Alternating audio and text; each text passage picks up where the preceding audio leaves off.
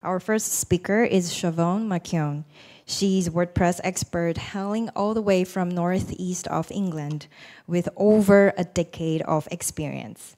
Today, she will guide us through finding ideal clients, adding value in sales, and mastering the enterprise sales journey. Let's welcome Siobhan McKeown.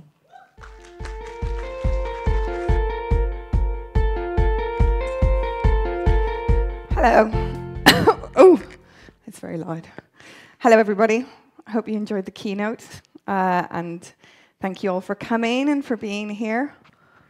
I'm just going to adjust this a little bit so I can't hear myself so much. Um, and thanks just for coming to my presentation. I've really enjoyed being in Taipei. I've never been here before. It's been wonderful. I've eaten a lot of food. It has been great. My favorite thing to do. Um, so this was my original talk title, How to Catch and Retain a WordPress Enterprise Client. But when I started to get into it, I realized actually there were so many talks packed into this statement that I've cut it back a little bit. So I'm actually just going to focus on how to catch a WordPress enterprise client. Um, just the sales process itself takes up the length of a talk. Um, and actually, as I've been going through it, even different components of the sales process could take up whole talks. Uh, so, but if you want to talk to me about how you retain clients or anything to do with this, feel free to come and chat to me through the WordCamp. So, a little bit about me. Uh, I've been involved with WordPress for about 13 years. I used to be the rep for the docs team. I was one of the founding members of WordCamp Europe. This is uh, me and my friend Hanny after the very first regional WordCamp, WordCamp Europe in 2013. And all of the organizers will appreciate this feeling of just lying on the ground and done, feeling like we did it and we're exhausted. Um, so these days I'm the COO of HumanMade. Uh, HumanMade is an enterprise WordPress agency. Uh, we also have a cloud hosting platform, Altis, where we offer enterprise hosting to banks, to universities, to media organizations, among others. And just to begin, uh, I just thought it'd be fun to look back at where Human Made started. Hello, everybody. I hope you all enjoyed the keynote, and uh, Noel's uh, talk was great. Um, so we all have to start somewhere. This is the first version of the Human Made website that we could find on the Wayback Machine. At that point, human made was one word. We've got a very nice carousel there. I don't think the telephone number works, but if you want to give it a try, feel free to. Maybe Joe or Noel or Tom will pick it up. Um, and also, we're not just UK based, having gone remote in 2013. But something that we still do, I'm going to have to read it because I can't see it on my notes, is we love building fantastic things for fantastic people. And if you want to do something with WordPress, speak to us. We can make it happen. Um, so here are some of HumanMade's very first websites. Um, I could only find very, poorly cropped versions of these in our WP Media library from way back in the day as evidence of the work. We've got Aardman animation. We've got awkward family photos. I don't know if anybody remembers that.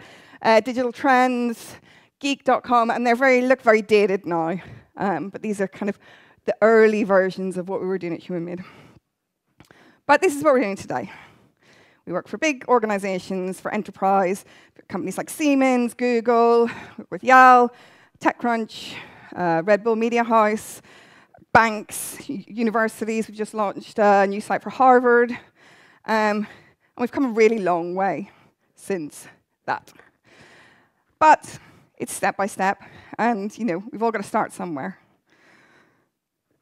We all at HumanMade love to share, uh, and I think this is one of the differentiators of HumanMade is that we're made of open source contributors. We have so many open source contributors as part of our leadership, as part of our staff, and we really love to share. So we share our staff handbook, we share our engineering handbook, and we also love to share how we approach things. And that's what I'm going to do in this presentation, is talk a little bit more, more about how we do things as a business.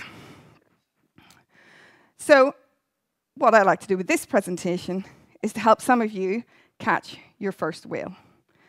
So, to do that, I'm going to tell you a story. And we're going to see what we learn along the way. The story is going to take you along the sales funnel. Um, we'll cover it in broad strokes. And as I said at the start, when I was putting this presentation together, I was like, this could be its own talk, and this could be its own talk, and this could be its own talk. Um, so at the end of the presentation, I have going to share a QR code. Uh, if you follow it, it will take you to a blog post, and it's got um, links to what I think are good resources about different stages of the sales funnel. Um, so funnel is a really good representation of the activity because it follows a journey from creating awareness cl to closing a deal. And a really common way of phrasing, framing this is called AIDA. Thanks to Petya for helping me make this uh, diagram yesterday. Uh, so it starts with awareness. What is it? Just creating awareness of your product or service. Interest. I like it. That's generating interest. Desire. I want it. At this stage, your prospect is uh, motivated to engage with you and wants to, to more interested in buying what you've got. Uh, and uh, action, which is, I'm, I will have this. So I'm going to take you on a story. This is Joy. She looks a bit like me. Uh, I got some help from my designer. I'm very lucky to get some help with my slides. Um, I'm probably much more snarky and sarcastic than joyful, just to, to put that out there. Uh, Ryan's very sarcastic, laughing at me. Um, so Joy was a web developer. Not like me. I was never a web developer. I was involved in WordPress in other ways. Um, she did a bunch of freelance work, building websites for small businesses. Those businesses got a little bit bigger. Um, then she got more work than she could do herself.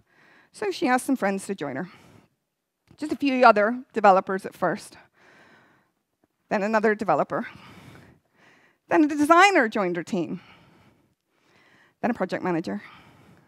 And before she knew it, Joy was no longer doing any development herself. She was running a business. Oh, this is not in a language I understand. uh, so, Joy has got a problem. Joy's engineers are looking for more challenging work.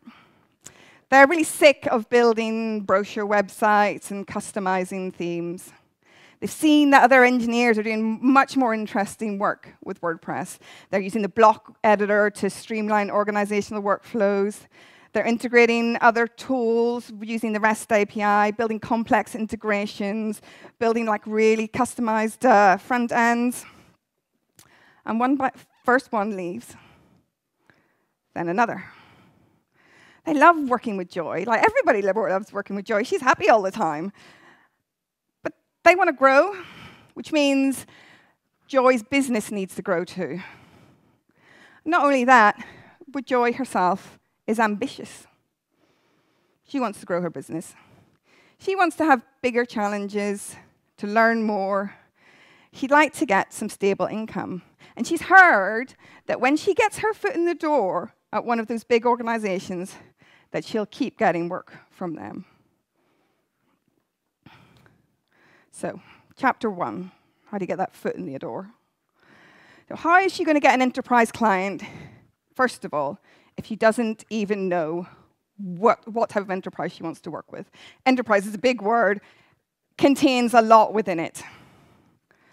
So you've got to really think. She, Joy needs to think, what is my ideal client? Joy isn't really sure what her ideal client is. At this stage, she really, really would like to work with anybody. Anybody who's going to give her money, great. However, there are some things she does know. She knows that one of her engineers previously worked at a university in their digital services department. And they've been doing like themes and customizations for some schools. This means education could be a pretty good industry fit. She knows that she'll need to work with a big university that is profitable. So she needs to look at that intersection of her team's expertise with technology fit, ability to buy, and geography.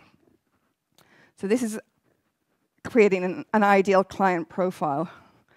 Um, oh, I started with one bullet point, but not the others. Oh, that's making me cringe. so, uh, when you come up with your ICP, think about the following industry. Is it an industry you're familiar with? Think outside of the box, not just clients you've had, it might be industries that your team has worked within and that has experience of. Size of the company, a good indication of the overall revenue and the complexity is a, uh, a good, good indication of the overall revenue and complexity of the organization. Although when you're looking at the company size, remember that you'll just be working with one team within it. A company could be huge, like a bank, for example, but it's, you know, they have things like bank tellers uh, and people like work, working within their high street branches. So there's all sorts of like different types of roles within those organizations. Potential budget. So you won't know the budget that all of these organizations have offhand, but you can project what size of budget is ideal for you, your costs, and your team. Is it $50,000? $20,000, a million dollars. And then geography. Are there geographical regions which you are better suited to work within? Have you got a team there that can work? Factors might be things like whether your team's located there, whether you have, uh, whether you speak the language, uh, and the sort of purchasing power uh, within that locale. And then finally, business goals. So, what are the ideal business goals? Could it be, would it be digital transformation? Could it be moving on to new platforms? Could it be speed and performance? There's lots of different goals that actually you could be well suited to work within. So once you've got your ideal client, you need to go and find them. Um, so Joy realizes she doesn't really know anyone who works at an enterprise organization. She loves going to WordCamps we all love going to WordCamps. WordCamps are great and meeting WordPressers, but enterprises don't really go to WordCamps. And in our experience at Human Made, it's very rare for us to like be doing client meetings or, or meeting new clients at WordCamps. And I think this quote from Seneca is really, really helpful and instructive when thinking about, you know, how you can position your business to grow. Uh, luck is what happens when preparation meets opportunity. So you need a combination of preparation and opportunity. Through defining her ICP and understanding what her team can offer, Joy is prepared to talk about the value her team can bring. And then the opportunity is just putting yourself into the right types of situations where you might encounter people who are interested in what it is that you have to sell. So this means going where she knows they will be. So she searches for conferences and events focused on digital marketing for universities. There's some local events that connect her into the local community. Bigger ones where, if she's honest, she, she does feel a bit overwhelmed. But she puts herself out of her comfort zone and she starts speaking to people. She has a go at speaking at a local meetup. And when she builds up her confidence, she speaks up, uh, speaks at a one-day tech event focused on people who work in digital marketing at universities. she starts to write posts on LinkedIn about innovations in WordPress, specifically in education settings. She shares useful plugins that people in digital at a university might want to use. She comments on case studies and other people's posts. She broadens her social media network and just generally gets herself out there. At all times, she's trying to bring value to people through the interactions that she's having and demonstrate her expertise. Her team, like the team at Human Made, her team doesn't exist, so I've had to use Human Made's team as an example, um, are WordPress contributors. So she posts about that and shares their contributions. And in terms of our experience at Human Made, having um, so many people at Human Made be, be contributors to WordPress, be vocal within WordPress, take leadership roles within WordPress in the WordPress community has had a huge impact on Human Made's business. And that's not why we all started contributing. We started contributing because we care about uh, open source, we care about uh, democratizing publishing. Um, but these are definite fringe benefits uh, to us as a company, so I highly recommend that you think about your contribu contributing strategy. Then one day she gets an email from Jeff. He works in digital marketing for a business school, at a university. He has an RFP that he'd like to send her if, if she's interested. And of course, she is. Chapter 2 A Journey of Discovery. So Joy needs to learn about this prospect, and if she has a good discovery process, it will help her to make sure that she can craft her pitch to the prospect. So this is thinking about how you understand the prospect, how you understand their business need. It's also an opportunity to demonstrate professionalism. Throughout this discovery process, you want to really not just like learn about them, but you need to deliver value to them. Every touch point with the prospect, they should come away feeling enriched and feeling good about the experience of having that interaction with you.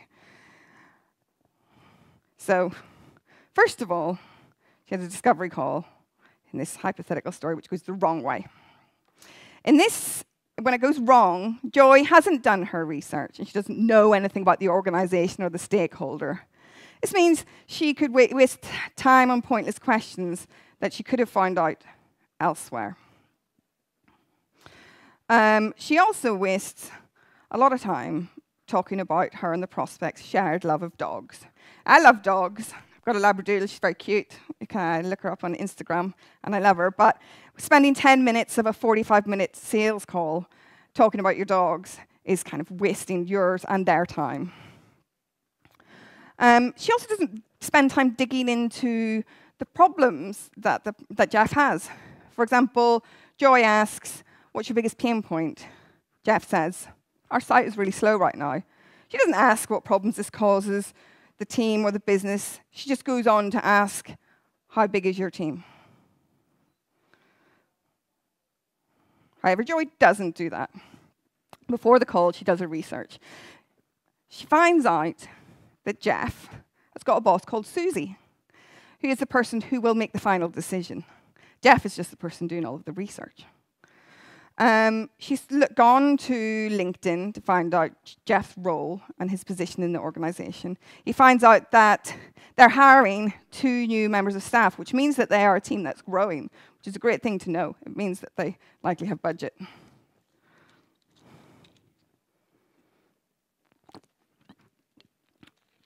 She finds out that he leads a team of four in Singapore and they're going to hire two new team members. She opens the call with a warm but brief opening, in which she expresses her appreciation for the person, for Jeff. She checks in on time, asks if 45 minutes still works for you, and she outlines the end goal of the call to understand their business goals and how they can work together. This is, uh, if you if you're in sales or curious of sales, you will find that, that there are a lot of acronyms for everything. This is a, a, a little process called ACE, A, appreciation, C, check-in, and E, end goal. Uh, in the post that I'll share at the end, there's lots of acronyms. Um, oh, I have lost my notes for this. Um, so, whenever uh, Joy asks Jeff, what are your pain points? Jeff says, Our site is slow. Uh, and he, she says, What are the problems that that causes for you? And he said, Well, our ad revenue is going down because uh, people aren't staying on the site, people are bouncing on the site. And he also says, But it's also causing problems for our editorial team. There's a lot of inefficiency because we're waiting for things to load all of the time. Um, so she understands that they're losing their revenue and they want to improve on their efficiencies. So she's got a good idea of the change that they need to create within the organization. So now that she has everything she needs, she can go away and put together the estimate and the pitch. Um, she has the request for proposals that's been sent to other agencies. I don't know how many of you have received these, but often they're huge. Uh, they're massive documents that you have to respond to. But she has got her discovery call, which gives her information that other agencies don't have access to. She knows exactly what the business goals are. She knows how her team can help Jeff achieve those goals. As well as the art of responding to the RFP, Joy has to estimate how much the project will cost. So, work on this scale is new to Joy. And while they can easily estimate how much a brochure site will cost, a migration with new editorial workflows, a full performance audit, and optimizations, and a refresh of the front end, that's a whole new thing. They've never estimated anything like this before. Um, so they're going to get it wrong. They are going to underestimate what it's going to cost. Uh, it's going to you know, ultimately cost them money, but every time they estimate, they're going to get better. Estimation is really hard. Shared some posts about it. Um, there are things that Joy could have done. Uh, she could have got access to WP admin, so their engineers could have had a proper look around. She could have asked for access to the code base. Some uh, prospects will do that. She could have built in a discovery phase so that they could better determine the full scope of development, so just sell that discovery with the phase two, which is actually the build. She could build in contingency by adding a multiplier on top of her estimate. But she doesn't do any of these things. She gets it wrong. uh, she also was thinking about pricing mo models. There are loads of different pricing models uh, you could adopt. Joy continues with her hourly based pricing model, which is what a lot of agencies do. You can do daily, uh, that's human made charges by the day. You can do value based, you can do project based, you can do sprint based, lots of different ways that you can figure out how much things are going to cost. But she breaks the project down into stages, and she, she and her team break those down further into specific tasks to figure out how long each task will take and then how much it will cost. Um, there might be situations, and this isn't one that Joy is thinking about because she doesn't know yet, that you might intentionally price low. It could be your first project, you want to get the logo on your website. It might be, uh, and this is an approach that we've taken, is that you want to land and expand, which is that there is a, a small opportunity at a really big organization, and you want to get your foot in the door so that you can deliver really well and you know that that organization is going to have loads more money uh, to send your way. Uh, so in that situation, you need to be realistic about what's going to cost you and also what the future opportunities are. So Joey's delighted when she's invited to pitch because she's done so much prep work already um, through the RFP and the discovery. She feels really ready to answer any questions that are thrown at her. And you know, when you go into a pitch, if you've done your prep work, it's actually pretty easy because you, you know it all inside out. And it's really just going in, having that conversation, uh, delivering value, making people feel educated by that process. So they distill the RFP down to a 15 slide deck. They tell the story of how Joy and Jeff's team are going to work together. She paints this beautiful picture of collaboration, and Jeff thinks this is wonderful.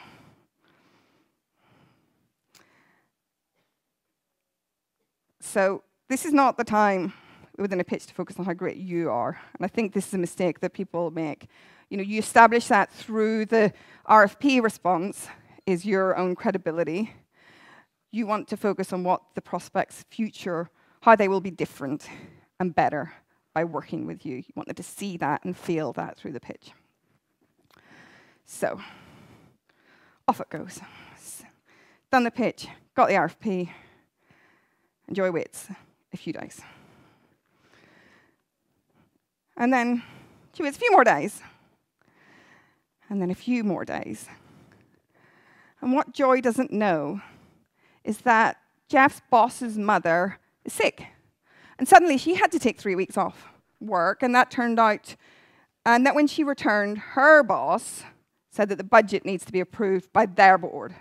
And the board is struggling to get it approved because they have an offsite followed by an all hands. And then when the board does review it, they have a bunch of feedback. That gets sent back to Jeff. And Jeff has to take it to IT. And IT is like, why are you even using WordPress anyway? Oh, we've got a phone call. That's fine. Um, and then he has to make a whole business case again to IT, the IT department, who begrudgingly say, fine, it can go ahead but only on this side over there, and we don't want any responsibility for it. And then it goes back to the board, and they can only arrange a meeting in two weeks, which they do, and it gets signed off.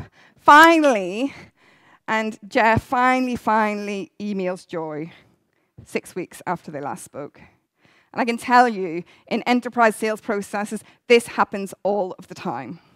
The amount of times that we have like done a pitch, then got an email saying, oh, we've got to hire someone new before we can go ahead, or it just goes completely silent, and then three months later, someone messages you. This is part of enterprise sales, is patience. She'd almost given up. She was sad because uh, the leader looked so promising. But what Joy will learn is that uh, the process is that enterprise sales is a marathon, not a race. Um, any touch point that you have with a big organization is not just a contact with one individual. It's a point of contact with all of the complexities of that organization. Whoever you speak to has a boss, and they have a boss, and they have a boss, and they have a board, and your stakeholder is managing the demands of multiple departments and opinions. Things take a really long time, and things can be very challenging for your stakeholder. So, but she gets an email from Jeff saying, You're the preferred vendor. Yay, good for Joy. But the story doesn't end there. The stakeholder might be happy, but it's not the end of the story. There are some monsters to overcome before the project is in the bag. And these can tank a project. So you might get the email saying, Yes, we love you. We really want to work with you. It's going to be great. I can see our future together. But it's not over. And you need to prepare for these. First monster is procurement. Procurement is a team that determines whether a vendor is going to be safe, secure, and deliver the best value. They will always look for ways to drive down costs and mitigate risk and they decide whether an organization can work with a vendor or not. They go hand in hand with compliance. The compliance team will make you assess, will assess you to see if there are any risk factors associated with working with you. So Joy has sent an enormous 300 question questionnaire, uh, 300 question questionnaire where she's asked about security awareness training and endpoint security and network conf uh, configuration and encryption and development environment security and data handling and all of these things that she just doesn't normally have to think about when she's doing these uh, you know, smaller, uh, small to medium sized sites. In the end, Joy gets through it all. The compliance team decides that Joy security, it's not up to scratch. So they tell the stakeholder, they tell Jeff, if, that, if they really want to work with Joy, they'll have to send laptops to the team to work with. And this happens. Which they do. They send them. And now it's finally time for the contract where they encounter their next monster legal. So you're going to send off, or Joy sends off her master services agreement and waits two weeks while it gets stuck in the legal department. Eventually, when it comes back, it is covered with red lines. The legal team has pulled out, the claw, out their claws and being able to use the uh, project and marketing activity. It's disputing the payment terms, the jurisdiction where any disagreements will be mediated. They have no clue about the GPL, so all reference like open source is completely uh, written all over. And Joy feels completely out of her depth. At this point, she brings in a lawyer who helps her navigate this whole situation.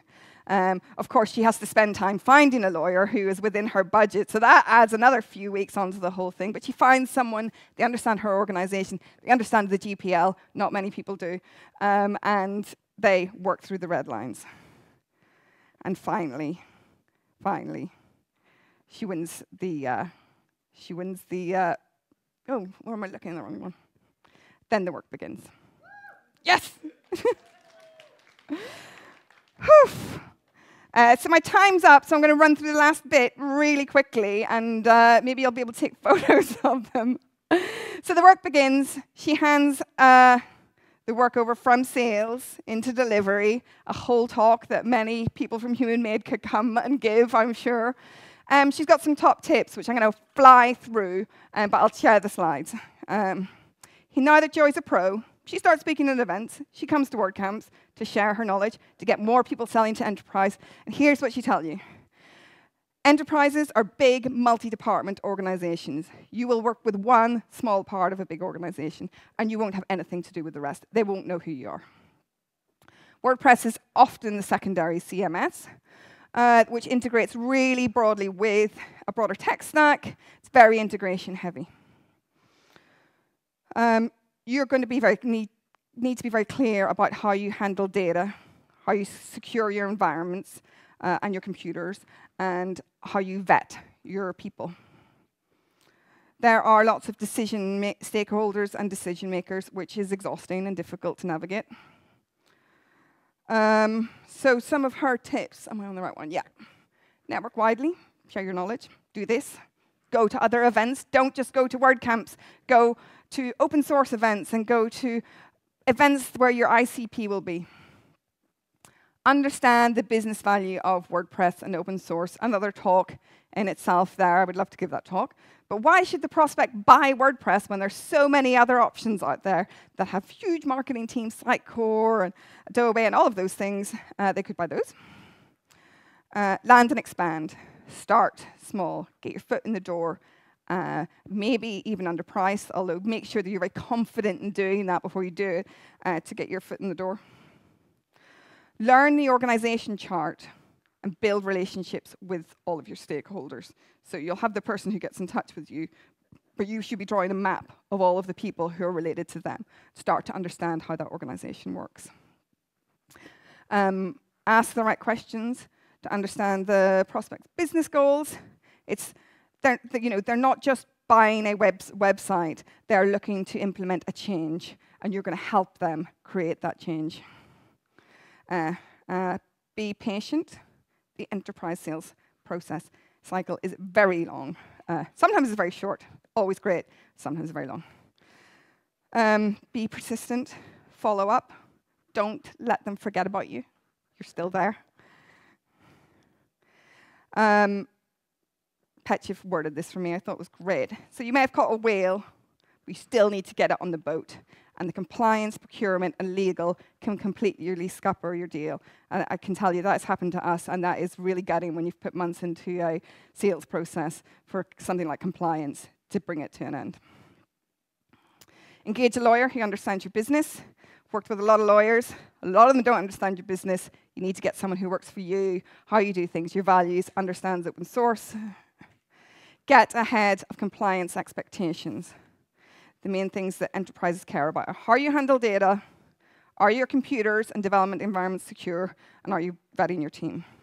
And that's especially important if you're working with freelancers and contractors and if your team is remote.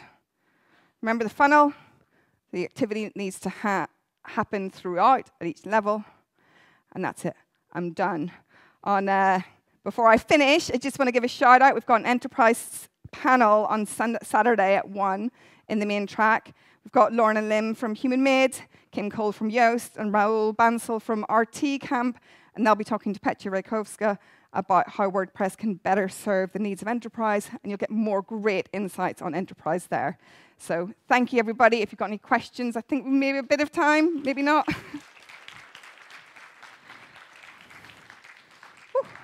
That's bright. Thank you so much, Siobhan. This is such a great talk. Now we are open for question for five minutes. Okay. Siobhan, actually, I have a question for you. Great. What makes a great client? That's a good question. What makes a great client? Um, somebody who's communicative, who will engage properly with the process.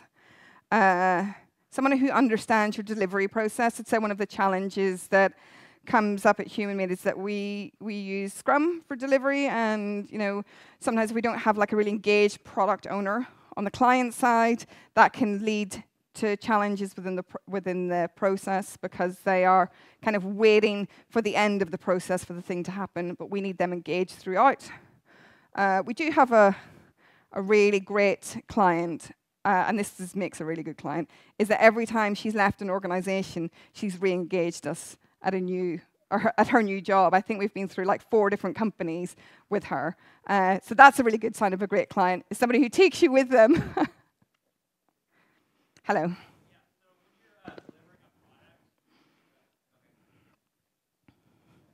So when you have a large project, how do you typically break up milestones for payments and delivery? Yeah, sort of. So we, we usually we have a roadmap which is drawn up at the be the beginning of the uh, the project because we use Scrum. Then we're working with the product owner to deliver in sprints every two weeks, um, and we tend to like then stage the payments dependent on the project. It's usually like 30 day terms or whatever. Uh, so it will depend on the deliverables. It will depend on the project. You know, smaller ones uh, will be uh, related to the actual launch, but other ones will be dependent on deliverables. Okay, thank you. We've got one here. There.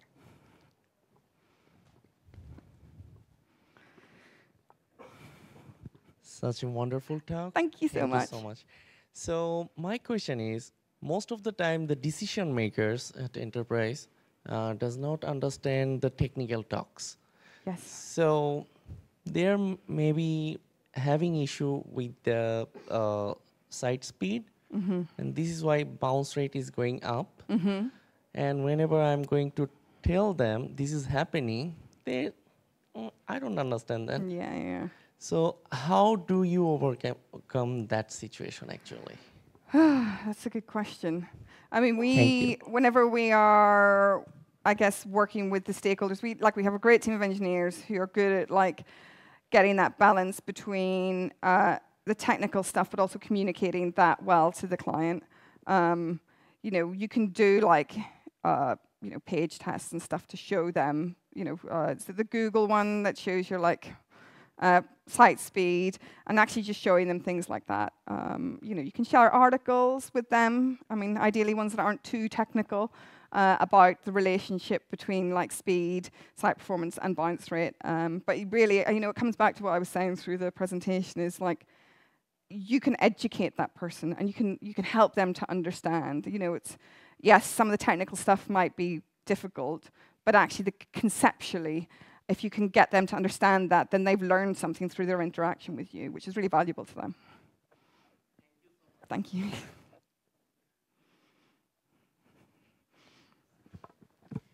Yeah, so one of the questions I had that, like, how do you um, explain to the, uh, the customer that the project might take a little longer than they estimate? Because oftentimes stakeholders have uh, a timeline in mind, but the scope of the project is actually larger than what Yeah. they have in mind. So how do you how, how do you reconcile that? Because you realize it's going to take longer, Yeah. but they don't. Yeah, I mean, this comes back to what I was saying about the engaged product owner. If you've got a product owner on the client side or any stakeholder who's fully engaged and helping you make decisions throughout, then they should, like, it should never come as a surprise to them. There should be enough a part of the process that really they should be seeing that coming as well. Um, what we aim for at Human Made is there's three sort of vectors for a project. There's scope, there's time, and there's um, scope, time, and budget. And usually one of those is going to have to give. So if you're running up on a deadline and that's not going to, uh, you're not going to hit it, so you've got to de-scope something, or they're going to have to add another engineer, which increases the budget. And if the, uh, if the stakeholder's been really part of the project, then they will understand the need for that. So you really need a good accounts team to manage those types of situations. Thank you. Thank you so much, Siobhan. Um, I'm pretty sure if anyone have questions, um, feel free to uh, meet Siobhan uh, at the conference later today. Um, thank you again. On behalf of WordCamp Asia, we would like to give you this thank you gift. Thank you. Thank you so much.